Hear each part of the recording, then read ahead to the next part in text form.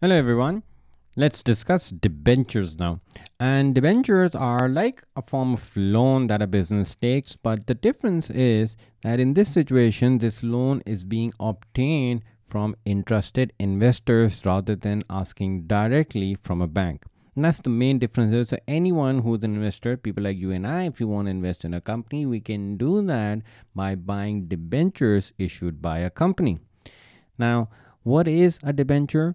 A debenture is a form of debt finance. Okay, debt finance are those things which require to be paid back and have an element of interest associated with it. So in this scenario, what happens is a debenture is a sort of a loan taken by investors, and in return, the company is paying those investors interest uh, from the profit in return for the money they have lent to the company that's how a debenture works. So let me just show you a little bit about how the how, how a particular debenture is structured. And let me explain that through an example. And let's assume that a company requires to raise 10 million dollars. Okay? Now i will pose a question here to you guys. Now would it be easier for a company to get the entire amount of 10 million dollar from one person? Or would it be smarter to get it from one person or getting 1 million from 10 different people? What would be a more risk free strategy?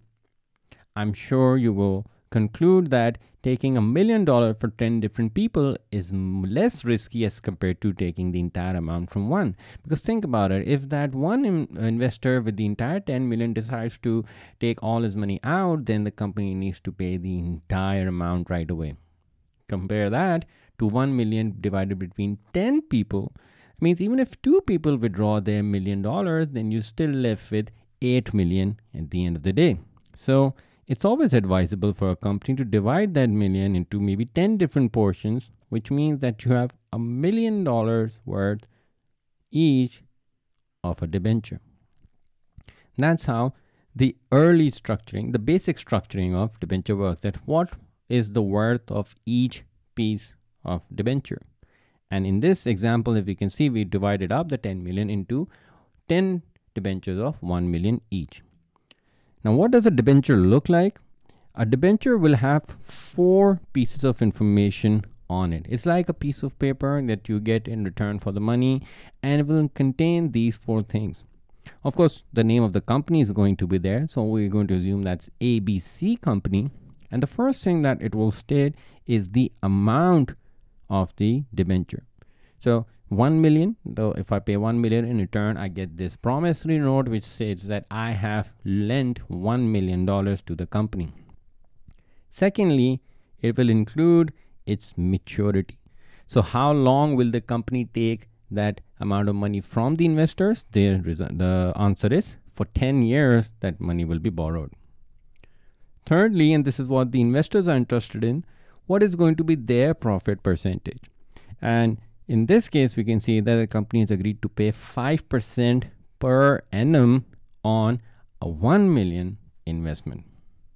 And also, they will indicate how many times or how many proportions will this profit be divided in. And that will come in the form of frequency. Now, when you see quarterly uh, written here, it simply means that the same 5%, whatever that amount is, will be distributed across the year in four equally equal quarterly tranches. Let me explain what that means here. Let's say we know that it's a $1 million debenture. You have it for 10 years and every year you get 5% of $1 million.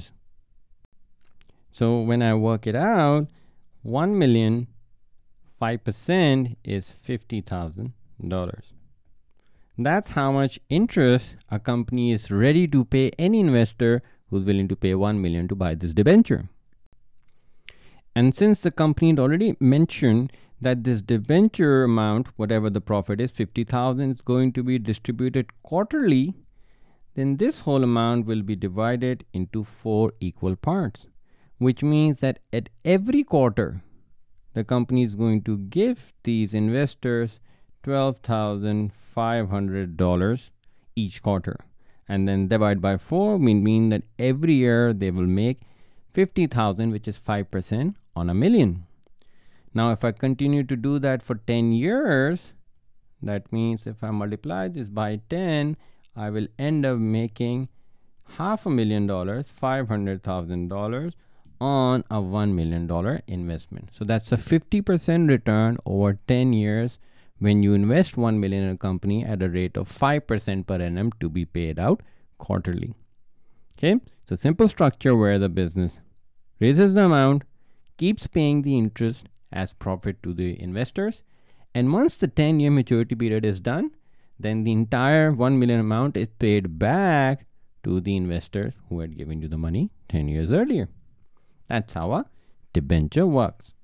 Now, just one little extra point on top of that is that you don't have to wait the entire 10 years to encash it. You can trade it just like stock markets have a trade. These bonds also have a stock exchange sort of a place where they can trade they can buy and sell these debentures as well.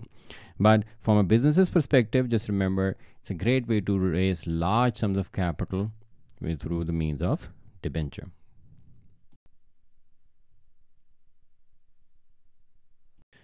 So I just wanted to conclude by highlighting some of the benefits of using debenture as a source of finance. And the first of those is that there is no right of ownership being given up by the owners.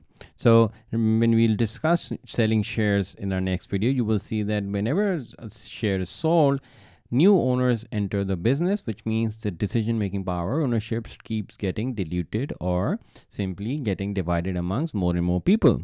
However, when you take when you sell a debenture, there is no ownership being shared with anyone. So you keep all the profits to yourself once the debenture is paid off.